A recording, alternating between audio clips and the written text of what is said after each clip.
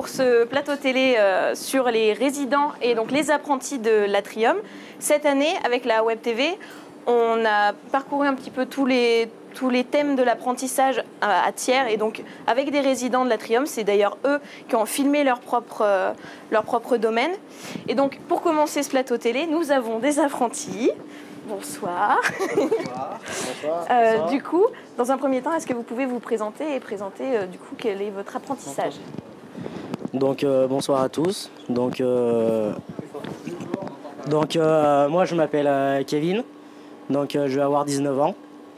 je suis en apprentissage en chocolaterie dans la pâtisserie Museur. Donc c'est une formation là pour deux ans. Bonjour, je m'appelle Antoine, euh, je suis en boulangerie, j'ai 17 ans. Je travaille à la boulangerie Petite Gourmandise qui se trouve en bas de Thiers et c'est une formation qui dure deux ans. Bonsoir, alors moi je suis Benjamin, donc euh, je suis apprenti coutelier, donc je suis à la... Je suis apprenti euh, donc manufacture de coutellerie Cognier. J'ai 20 ans et c'est ma deuxième année. Mais pourquoi est-ce que vous avez choisi l'apprentissage dans ce domaine ben, Moi l'apprentissage ça m'est venu que plus tard parce que j'ai commencé donc euh, en lycée professionnel. J'ai euh, effectué donc mon premier CAP chocolatier confiseur en deux ans et ma motion complémentaire pâtisserie euh, chocolaterie en lycée professionnel au lycée François Rabelais à Brassac-les-Mines. Et c'est ensuite que je me suis dit qu'il fallait que je parte en apprentissage pour vraiment apprendre sur le terrain.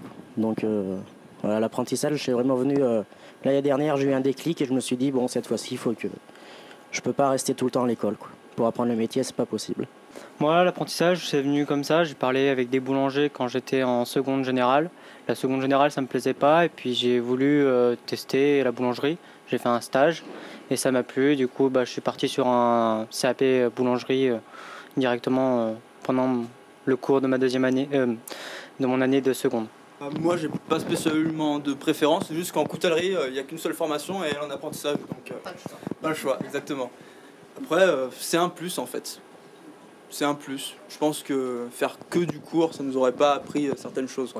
C'est important que ce soit un apprentissage dans vos domaines ou est-ce que euh, pour vous, ça aurait suffi juste des cours en classe? Non, l'apprentissage, c'est vrai que c'est important. Bon, après, je, je peux attirer aussi l'école les, est quand même important au point de vue théorique.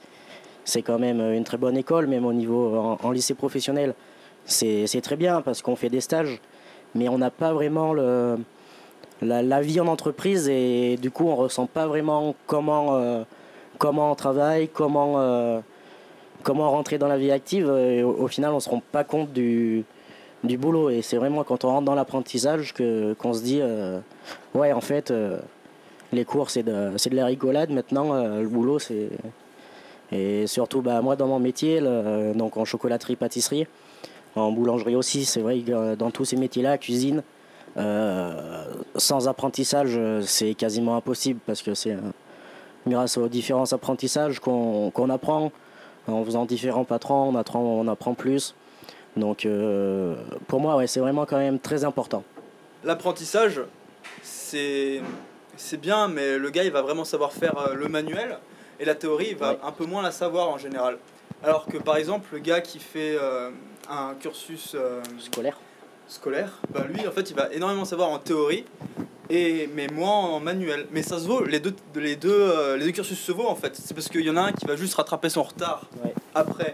En lycée pro, j'ai acquis les bases. Et là, bah, ça fait qu'un an que je suis en apprentissage, mais j'apprends euh, tous les jours et vraiment plus, le, plus la partie pratique.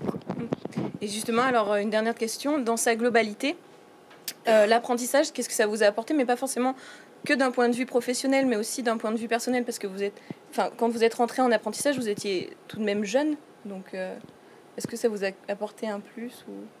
Moi, pour l'instant, euh, bon, je ressens quand même, oui, ça m'a apporté, mais j'ai commencé que l'année dernière l'apprentissage, donc au mois de septembre, donc euh, j'avais 18 ans, donc c'est pas vraiment tôt, c'est même tard pour commencer un apprentissage, mais même au bout d'un an, là, je sens que ça m'a vraiment apporté euh, rien que dans la rapidité, la, être rapide au travail, l'organisation.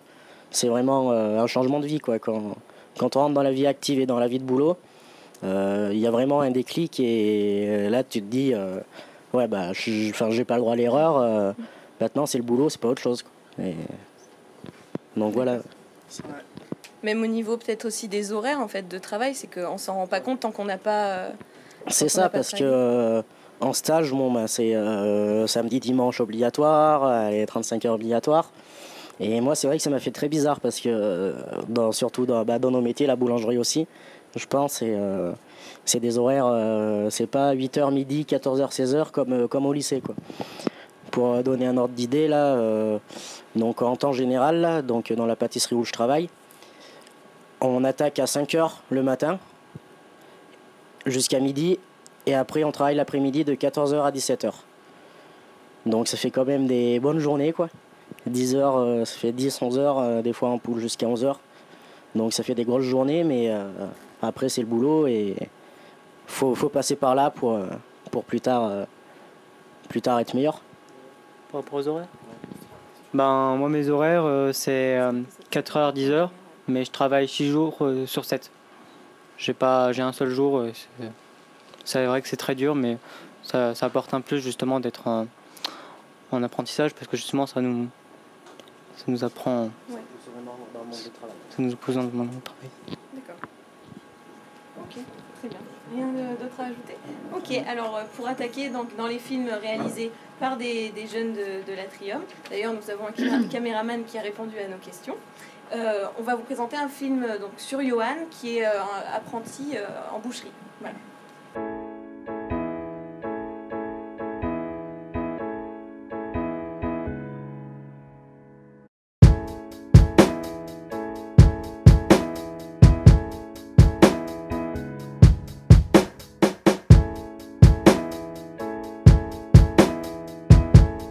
Je m'appelle Nabil Yowan, j'ai 25 ans et je suis apprenti boucher à Thiers. Je viens de Saint-Martin. Je suis venu en France pour chercher du boulot euh, en mécanique bateau. Parce que au Dom- Dom-Tom, il n'y a pas grand-chose. Il y a pas, euh, au il n'y avait pas euh, le, CFA, je ne pouvais pas apprendre le métier. Je suis atterri à Clermont. Et à Clermont, il n'y a pas trop la mer et tout. Du coup, j'avais pas de choix, il fallait que je change de métier. Et c'est comme ça que j'ai commencé à faire des stages de peintre, de maçonnerie, etc. Et ça m'a pas plu. Et on m'a parlé de la boucherie. Du coup, euh, j'ai dit pourquoi pas, j'ai tenté. J'ai fait, fait plusieurs stages en boucherie. J'ai fait des stages à Clermont, euh, à Cromaria, à Jean Casino, à Limoujou. Pas mal de stages en boucherie. Et du coup, euh, je recherchais un apprentissage et personne ne voulait me prendre. Et ils m'ont demandé un jour si j'étais mobile, si j'étais vraiment prêt pour, euh, pour bouger, pour apprendre le métier. J'ai dit oui. Ils m'ont demandé si je pourrais venir à Thiers. Et du coup, j'ai dit pourquoi pas. C'est par rapport à la mission locale que j'ai fait des stages et que j'ai eu mon apprentissage. Parce qu'elle m'a présenté à, à Laurent Mabrou et c'était un chef de secteur en boucherie. Il a vu que j'étais un bon gars et tout, que je, que je travaillais bien et tout. Il m'a embauché direct en apprentissage. Là, je vais enlever le, le scapulum. J'essaie de, de faire un désossage à blanc. Faut pas laisser de viande sur. Ouais, mets ton couteau comme ça, ouais. Essaye de faire. euh, tu vois, regarde. Prends ton couteau. Regarde, prends ton couteau. T'es ici, là. Toi, tu, tu mets ton couteau, là. T'as dégagé, là Ouais. Tu, tu passes simplement comme ça. Aux premières années, j'ai appris comment désosser, comment éplucher. J'en avais pour un an. Et après ça, dès que je savais tout faire, mon chef il m'a mis à la vente. Et c'est comme ça que j'ai. Le métier m'a plu encore plus. Parce que quand tu es, avec les clients, les clients ils te parlent, ils ont toujours le sourire, ils sont sympas. Ce qui me plaît dans la boucherie, c'est la, découpe, euh, les rapports avec les clients. Quand les clients me demandent pour des conseils, pour comment cuisiner la viande, le temps de cuisson, etc. Quand je me lève le matin, j'ai le sourire parce que je sais qu'aujourd'hui, je vais rencontrer des, des gens sympas, que je vais... C'est un métier qui me motive, que je ne m'ennuie jamais, il y a toujours des choses à faire, il y a toujours du boulot. Tous les jours, tu apprends des, choses différentes. Il faut savoir comment découper la viande. Tout le monde sait découper la viande, mais il y a des manières comment la découper. Il faut savoir désosser à blanc. Il faut savoir ficeler, avoir parlé à des clients très bien. Il y a tout qui me plaît dans la bouche, il y a tout qui me plaît. Il y a tout. Je m'ennuie jamais. Il y a toujours du boulot et c'est un métier qui paye. Du coup, moi, j'aimerais bien un jour euh, passer mon CAP, passer mon BP et peut-être un jour euh, ouvrir un boucher, ouvrir une boucherie chez moi. Mais les clients, ils sont sympas. Ils se disent que ouais, je suis un bon gars, que j'arriverai à, j'arriverai à avoir mon CAP, que je suis... Comment dire ça? Suis un bon tête, quoi.